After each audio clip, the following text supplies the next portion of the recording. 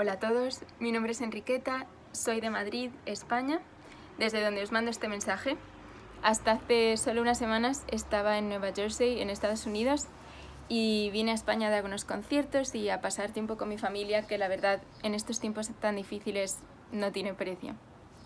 Voy a tocar para vosotros tres piezas de Manuel de Falla, tres danzas de su ballet El sombrero de tres picos. La primera vez que escuché estas piezas, pues yo era muy jovencita y fue en su versión orquestal. Y más adelante escuché una grabación de Alicia de la Rocha, de estas mismas piezas, en su versión pianística, y me decidí a aprenderlas.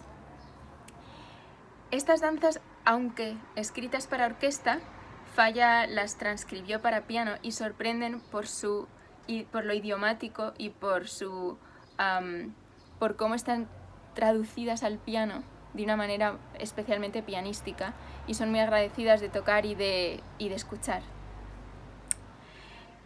Lo más, yo creo que lo más especial de estas danzas es la energía, la energía y, y el optimismo y la pasión que transmite cada una de ellas.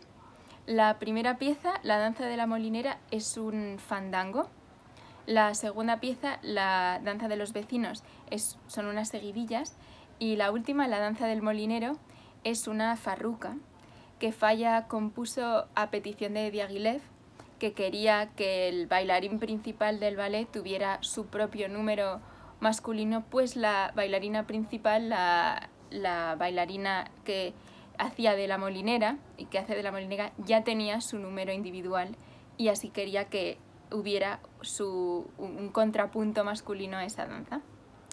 Espero que, que os gusten mucho y que las disfrutéis. My name is Enriqueta Samarriba and this is Porto Piano Fest.